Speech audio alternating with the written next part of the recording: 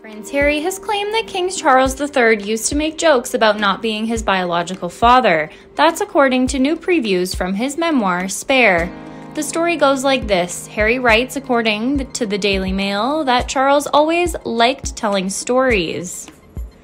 One of his favorites involved a mentally ill man who would claim he was the real Prince of Wales, Harry continues. Charles would always end with a burst of philosophizing. Who knows if I'm really the Prince of Wales? Who knows if I'm even your real father? Prince Harry says his father would laugh and laugh, but he found it all remarkably unfunny.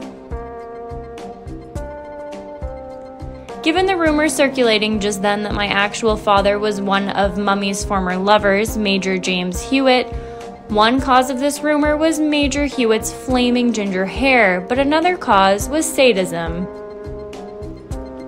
Apparently, Prince Harry adds that the joke was in poor taste, though he and his father never directly discussed his mother's affair with James Hewitt.